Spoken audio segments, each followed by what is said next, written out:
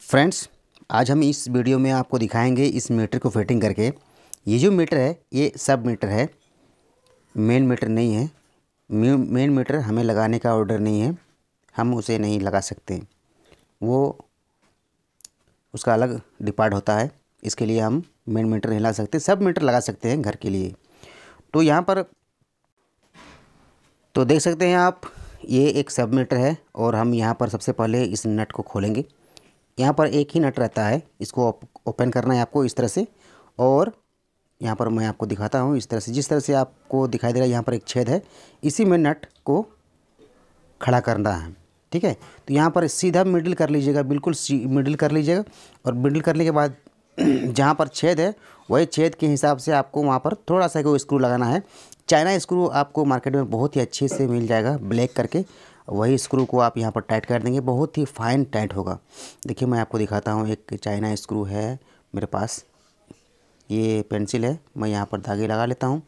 और मैं आपको दिखाता हूँ एक चाइना स्क्रू देखिए, यहाँ पर मैंने लगा दिया है ब्लैक कलर का। चाइना स्क्रू आपको मार्केट में मिल जाएगा। बहुत ही अच्छा स्क्रू है फोर स्टार देखिए फोर स्टार स्क्रू जो है वो बिल्कुल खड़ा हो गया है। बहुत ही फाइन टाइट होता है एकदम, बहुत ही ज़बरदस्त। इसको धीरे से आप इस तरह से टाइट करें, डायरेक्ट टाइट हो जाएगा। ये प्लास्टिक का पीवीसी बॉक्स है। आपको मार्केट में बहुत ही आसानी से मिल जाएगा।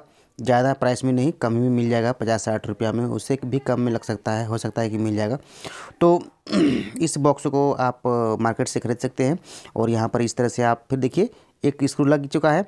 और यहाँ पर एक ही स्क्रू लगा सकते हैं आप, या, और नहीं तो दोनों तरफ़ छेद दिया हुआ है, दोनों तरफ़ आप लगा सकते हैं, कोई दिक्कत नहीं है। लेकिन यहाँ पर एक स्क्रू काफ़ी है, और यहाँ पर मैंने, देखिए, इस साइड का स्क्रूज ही मैं यहाँ पर टाइट कर रहा हूँ, यहाँ पर आप दे सकते हैं।